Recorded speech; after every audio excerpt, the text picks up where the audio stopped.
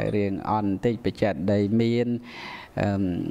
អញ្ញាធោអីលេងបៀនៅខាងក្រោមនឹងទៅឃើញនៅសន្តិសុខសមត្ថកិច្ចអីហ្នឹងក៏មិនសូវជាយកចិត្តទុកដាក់ទេអាត្មាទៅឃើញផ្ដាល់ឃើញដល់ពេលបាត់ប្រធានទៅបានអាត្មានឹកឃើញឲ្យវាស្រឡះទៅមកពីអ្នកនៅនឹងមិនទាំងថែផងហ្នឹងគួយវៃបេផឹកស្រាពេញហ្នឹង អត់មានដូចស្រុកគេថាទៅថឹងលិចគុណសរសើរតែស្រុកគេស្រុកឯងបង្អាប់ប៉ុន្តែមែនទេអាត្មានិយាយត្រង់និយាយថាវាដូចជាហួសពេកប្រធានរតនវត្ថុមាសប្រាក់នៅច្រើនសន្ធឹកសន្ធាប់នៅក្នុងមានទាំងពុទ្ធបដិមាមាសទៅទៀតប៉ុន្តែការមើលថែអីហ្នឹងក៏សោះអង្គើយទៅហើយក្រោយមកក៏លើថាបាត់ លើបាត់ប្រធានទៅហើយក្រោយមកទៀតលើថាឃើញមកវិញទៅវាដូចជាស្រួលម្ល៉េះអាបាត់ក៏ស្រួលអារោឃើញក៏ស្រួលអើយមើលប្រធានហ្នឹងយកមកយូរហើយណាតាំងពីសម្ដេចព្រះសង្ឃរាជគង់បច្ចុប្បន្ននៅ មុនសម័យញោមពោតទៅទៀតហើយចុះសម័យញោមពោតមិនមិនបាត់មើលញាតិញោមគិតមើលមើលមិនមិនបាត់សម័យញោមពោតហ្នឹង ហ្នឹងហើយក្រោយមកទៀតសង្គ្រាមរ៉ាំរ៉ៃនៅស្រុកជើងមិនមិនបាត់ហើយមកបាត់អីសម័យនេះណ៎មែនមែនញាតិញោមបាត់អីសម័យនេះវាគួរឲ្យគិតថាវាអន់ស្រុកជើងវាអន់ការគ្រប់គ្រងរបស់ ដែលមានតម្លៃកាត់ថ្លៃពំបានអានឹងនឹងគ្រាន់តែលើកឡើងចឹងទៅទេថាវាមានតែយើងទាំងអស់គ្នានឹងផ្លាស់ប្ដូរផ្នត់គំនិត ដែលមិនសូវមានទឹកចិត្តមនសិការស្រឡាញ់ជាតិសាសនានោះណាឲ្យមានមកវិញមកហ្នឹងហើយនឹកឃើញអាណិតជាតិមាតុភូមិអាណិតសាសនា ដែលជីដូនជីតាខំប្រឹងប្រែងរៀបចំឲ្យកើតមាននៅក្នុងប្រទេសហើយទីបំផុតឲ្យវិនិច្ឆ័យទៅ តទេតទេក៏មិនសមរម្យទេនឹងគួរតែឲ្យកើតមានតទៅទៀតហើយថែទាំទៅយើងថែអ្វីដែលមានហើយណាណាអ្វីដែលមិនតាន់មានយើងធ្វើមិនបានអានឹងវាមិនជាកំហុសទេក៏ប៉ុន្តែអ្វីដែលមានហើយ យើងរក្សាមិនបានអានឹងជាកំហុសដ៏ធំហ្នឹងដូចខ្មែរយើងថាកើតមកក្រមិនមែនជាកំហុសទេកុំឲ្យងាប់ទៅវិញក្រអានឹងបានជាកំហុស កើតមកល្ងងមិនមែនជាកំហុសទេតែបើងាប់ទៅវិញល្ងងអានឹងបានជាកំហុសមែនមែនញាតិញោមហ្នឹងយើងគិតមើលយើងកើតមកមានបានមាសបានប្រាក់មកពីពោះម៉ែណាតែទេអ្នកណាដូចអ្នកណាអាហ្នឹងមិនមែនជាកំហុសទេ តែបើយើងទៅវិញអត់ទាំងប្រឹងប្រែងផងហើយក្ររហូតដល់ថ្ងៃងាប់ទៅវិញអានឹងបានជាកំហុសកើតមកក៏អត់មានអ្នកណាចេះដែរល្ងងដូចតែគ្នាទេ នឹងក៏ប៉ុន្តែដោយការប្រឹងប្រែងសិក្សារៀនសូត្រក៏คล้ายទៅជាអ្នកចេះទៅចេះកើតមកមិនដឹងបនមិនដឹងបាបមិនចេះធ្វើទានមិនចេះរក្សាសិលមិនចេះស្ដាប់លោកទេវាមិនមែនជាកំហុសទេប៉ុន្តែបើងាប់ទៅទាំងមិនដឹងអីទៅទៀតអានឹងបានជាកំហុសដែលយើងកើតតន់ពុទ្ធសាសនាយើងកើតតន់ប្រទេសដែលមានសន្តិភាពហើយយើងអត់ប្រឹងប្រែងព្យាយាមនឹងអានេះបានជាកំហុស ចឹងនៅក្នុងសេចក្តីខ្លឹមសារនៃធម៌ហ្នឹងគ្រាន់តែអាត្មាចង់ឲ្យញាតិញោមពុទ្ធបរិស័ទហ្នឹងបានឃើញហើយដូចមកលើកឡើង នៅក្រេមុនចឹងថាព្រះសម្មាសម្ពុទ្ធព្រះអង្គទ្រង់អឺរើខ្លួនចាញ់បានពីសមរភូមិដ៏ក្តៅនឹងដោយអត្តន័យដែលអាត្មាចង់លើកឡើងហ្នឹងថាអឺការដែលការឈឺដង្កាត់ ការដែលមានសេចក្តីស្លាប់នឹងក៏វាជារឿងដែលគួរឲ្យធុញទ្រាន់នឿយណាយហើយនឹងពីព្រោះមួយជាតិមួយអត្តភាពហ្នឹងក៏វាតែប៉ុណ្ណឹងមានលើសនឹងអីមែនមែនញាតិញោមកើតមកហើយក៏ចាស់ចាស់ហើយក៏ឈឺឈឺហើយក៏ស្លាប់អ្នកខ្លះទៀតមិនទាំងបានចាស់ផងកើតមកនៅក្មេងក៏អាចនឹងស្លាប់បានអញ្ចឹងនេះជារឿងដដែលដដែលទេ នឹងហើយជាតិនេះនៅក្រន់ត្រង់ថាយើងបានកើតជាមនុស្សហើយអ្វីដែលជាលៀបសំណាងរបស់យើង ដែលយើងប្រសើរយើងថាក្រាន់បើទៅចុះក្រាន់បើជាងអ្នកដតីរាប់ម៉ឺនរាប់លានអ្នកហ្នឹងត្រង់យើងនឹងមានសទ្ធា មានសមាធិធិមានការតម្កល់ចិត្តត្រូវជឿបន់ជឿបាបជឿគុណទោសខុសត្រូវអីអានឹងនៅចាត់ទុកថាយើងក្រាន់បើប្រសើរជាងអ្នកដតីច្រើនណាស់ អានឹងហើយយើងមិនជាអ្នកសម្បូរធនធានអីទេ ពេលខ្លះក៏ពិបាកដែរក៏ប៉ុន្តែយើងមិនក្រទេមិនក្រហ្នឹងគឺមិនក្រសទ្ធាហ្នឹងហើយសទ្ធាក្នុងចិត្តសទ្ធាធរនាងទ្របគឺសទ្ធាហ្នឹងគឺមិនក្រទេមកស្ដាប់លោកទេសហ្នឹងជិះម៉ូតូដុកមកទេប៉ុន្តែមិនក្រទេ គឺអ្នកមានហ្នឹងហើយតែអ្នកខ្លះជិះសតតែ Land Cruiser អា ថ្លៃ10 20ម៉ឺនអីចឹងមែនប៉ុន្តែក្រទៅវិញក្រក្រសទ្ធានឹងឯងអត់មានសទ្ធាជ្រះថ្លាអីជាមួយទេហ្នឹងហើយឃើញធ្វើបនវិជ្ជាមណ្ឌលបនការប្រាក់កសាមជាមណ្ឌលវប្បធម៌ពុទ្ធសាសនាខ្មែរអីហ្នឹងធ្វើធ្វើទៅលោកអ្នកធ្វើហ្នឹងក៏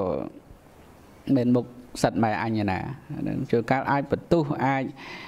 មិនពេញចិត្តអីទៅក៏មានអាហ្នឹងមកពីអីមកពីគ្នាហ្នឹងអត់មានអត់មានមកពីគ្នានឹងក្រហ្នឹងហើយក្រសទ្ធាជ្រះថ្លាចឹងបានអាត្មាចេះតែលើកឡើងថាកន្លែងដែលខ្វះខាតកន្លែងដែលលំបាកច្រើនណាស់ប្រទេសខ្មែរយើងមណ្ឌលកម្មាកព្រាហើយដូចជាមន្ទីរពេទ្យកន្ធៈបុផានៅសៀមរាបនៅ ភ្នំពេញ កំពុងតែជួបនៅហានិភ័យដោយខ្វះ ថវិកាជួយត្រួតត្រងសេវាព្យាបាលខ្មែរកុមារខ្មែរយើងដោយមិនគិតថ្លៃគ្រាន់តែចរន្តក្នុងដំណើរការសេវាព្យាបាល ក្នុងមួយថ្ងៃ120,000ដុល្លារញាតិញោមចំណាយទៅណាមួយថ្ងៃ120,000ដុល្លារហ្នឹងហើយហើយចុះមួយខែមួយឆ្នាំអស់ប៉ុណ្ណាច្រើនណាស់ហើយឥឡូវយើងគិតថាស្រុកខ្មែរយើងអុកញ៉ាមានប្រមាណ800នាក់ អុកញ៉ាអ្នកមាន800នាក់ហ្នឹងហើយហើយចុះអ្នកដែលមិនជាអុកញ៉ាអ្នកមានផ្សេងផ្សេងទៀតនោះបើដាក់ហ៊ុនគ្នាថាម្នាក់មួយខែ1000ដុល្លារអីទៅជួយទៅខាងចឹងចឹងណាអានេះគ្រាន់អាត្មាគិតទេណាអាត្មាថាល្អក៏ប៉ុន្តែវាមិនមែនដូចយើងគិតឯណាពីព្រោះរឿងទឹកចិត្តសទ្ធានឹងវាផ្សេងគ្នាអាហ្នឹងមិនមែនស្រឡាញ់អាណិត មានសទ្ធាជ្រះថ្លាអីជួនកាលគេជួយប៉ុន្តែមិនមែនជួយក្នុងប៉ុនអីចឹងឯណាហ្នឹងឃើញមានខ្លះដែរមិនជាអត់ទេតាមទឹកចិត្តសទ្ធាប៉ុន្តែវាមានមួយចំនួនធំនោះក្នុងគោលបំណងផ្សេងទេគេជួយហ្នឹងគេជួយហើយទៅគេចង់បានស្អីមកវិញអញ្ចឹងបានថ្មចង់លើកជាពាក្យមួយថា យើងត្រូវតែចេះពាក្យអរគុណ ពីព្រោះពាក្យអរគុណជាពាក្យពីរោះសុជីវធម៌ដែលយើងត្រូវអរគុណចំពោះអ្នកណាម្នាក់ដែលធ្វើល្អចំពោះយើងមែនទេញាតិញោមប៉ុន្តែយើងក៏មិនត្រូវទៀមទីពីអរគុណពីអ្នកដទៃដែរដូចខ្មែរយើងលើកឡើងថាណែធ្វើទៀនកុំសង្ឃឹមផលតែអ្នក ទទួលហ្នឹងក៏កុំភ្លេចគុណអ្នកឲ្យដែរ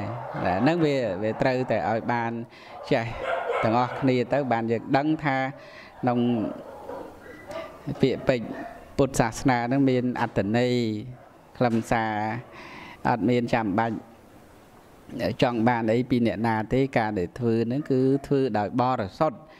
អានឹងទឹកចិត្តសទ្ធាជ្រះថ្លាអានឹងបើថាធ្វើដើម្បីបាននេះបាននោះ សំបីតែពីអរគុណហ្នឹងក៏ចាំបាច់ត្រូវការណាស់ហ្នឹងអានឹងវាមិនមិនមែនចេញពីចិត្តបរិសុទ្ធអីទៅទេ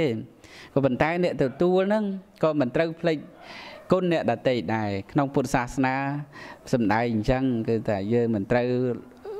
មក្ខរមិលគុណអ្នកដតីទេជាជាម៉ែជាឪជាបងជាប្អូន ជាញាតិជាមិត្តអ្នកណាអ្នកណាក៏ដោយដែលមានគុណលើយើងហ្នឹងគឺថាយើងត្រូវតែតបគុណទៅទៅចំពោះអ្នកដែលមានគុណលើយើងវិញ ក៏ប៉ុន្តែអ្នកដែលធ្វើគុណទៅលើអ្នកណាហ្នឹងក៏មិនចាំបាច់ទៀមទីអីថាត្រូវទៅតបត្រូវទៅសងអីយ៉ាងម៉េចយ៉ាងម៉េចអត់ទេអាហ្នឹងបានទៀនសង្គ្រោះបានជាការអនុគ្រោះដោយចិត្តបុណ្យពិតពិតអាហ្នឹងតាមបានទេញាតិញោមទៅណាទាំងមួយទៅហើយមួយទៀតនឹងចង់លើកឡើងថាព្រះអង្គទ្រង់មានការដោះខ្លួនបានព្រះអង្គមានការ រំដោះខ្លួនព្រះអង្គចេញពីសមរភូមិក្តៅដោយភ្លើងជារាភ្លើងឈឺភ្លើងស្លាប់នឹងបាន យើងក្នុងសេចក្តីនៃឧទាហរណ៍ដោយការដែលយើងជួបឧបសគ្គដោយភ្លើងឆេះផ្ទះអីយើងរំដោះត្រាប់បាន ខ្លះយើងអាចរំដោះកូននៅក្នុងមុងអីអាចរួចខ្លួនមកខ្លះវិនិច្ឆ័យអីចឹងក៏មែនក៏ពិតមែនក៏ប៉ុន្តែយើងអាចរំដោះបានខ្លះអា នឹងទឹកចំនួនអីចឹងមកយើងអាចរំដោះបានកូនប្រពន្ធឬទ្រព្យសម្បត្តិអីខ្លះចោលព្រៃចូលស្រុកអីយើងអាចកិច្ចខ្លួនទៅសងំនៅក្នុងត្រង់សេក្នុងលេនឋានអីបានអានឹងប៉ុន្តែយើងមិនអាចរំដោះខ្លួនយើងចេញពីជារៀបជាធិមរណៈបានទេមែនមែនយ៉ាងហ្នឹងហ្នឹងហើយអានឹង យើងរស់នៅនឹងបើមិនអាស្រ័យព្រះសទ្ធំមិនបានសិក្សាពធរបស់ព្រះអង្គមិនស្វែងឲ្យឃើញនៅមេគាដែលប្រតិទៅដើម្បីបាននៅព្រះនិព្វានហ្នឹងគឺថាមិនអាចបានរួចខ្លួនរំដោះចេញពីការចាស់ឈឺស្លាប់នឹងបានទេ គឺនៅតែស្លាប់ចាស់ឈឺដដែលពីមួយជាតិទៅមួយជាតិពីមួយអត្តភាពទៅមួយអត្តភាពផ្លាស់ប្ដូរវេនគ្នារហូតម្ដងជាមនុស្សម្ដងជា សត្វម្ដងជាប្រែតអីអីហូហែអញ្ចឹងបានសិក្សាស្ដាប់ពធូឲ្យមានជំរឿទៅក៏នឿយណាយញាតិញោមនឿយណាយក្នុងអ្វីដែលបាននៅកំពុងប្រកបពោះជីវិតយើងធុញត្រង់សពគ្រប់ប្រការនឹងហើយពុទ្ធបរិស័ទយើងក៏ការដែលយើងមកអាស្រ័យក្នុងពុទ្ធសាសនានឹងក៏ស្វែង រូបពុទ្ធនឹងឲ្យឃើញច្បាស់ទៅដោយការសិក្សាពធហើយព្រោះមានរឿងដូចនៅក្នុងរឿងវកលិវកលិវកលិភិក្ខុដែលមុនបួសឃើញព្រះសម្មាសម្ពុទ្ធជ្រះថ្លាចង់ឃើញស្រឡាញ់ស្រឡាញ់ព្រះអង្គណាស់មិនចង់ ឲ្យបាត់ពីភ្នែកខ្លួនទេណាចង់តែឃើញហើយធ្វើម៉េចបានឃើញគ្រប់ពេលវេលាមានតែបួសមានតែបួសតែព្រះអង្គទ្រង់អធិស្ឋ័យយោគយល់ប្រុសបណីព្រះអង្គអនុគ្រោះក្រោយពីបួសហើយនឹងតែ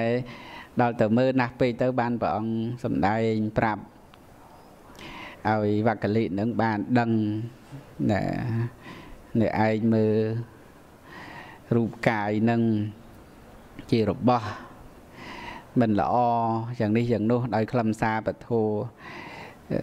ធ្វើឲ្យវកលិទីបំផុតព្រះអង្គទ្រង់បញ្យលរហូតដល់យល់បាន ក្នុងខ្លឹមសារបានដឹងថាការឃើញព្រះសម្មាសម្ពុទ្ធមិនមែនឃើញដោយពវរកាយទេ មិនមែនឃើញដោយរូប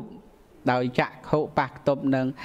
រូបបារម្ភចក្ខុប្រសាទប៉ះខ្ទប់នឹងរូបបារម្ភចក្ខុវិញ្ញាណកើតឡើងដឹងរឿងថាព្រះអង្គស្អាតចេះចោះប៉ុណ្ណឹងមិនមិនតាន់ឃើញ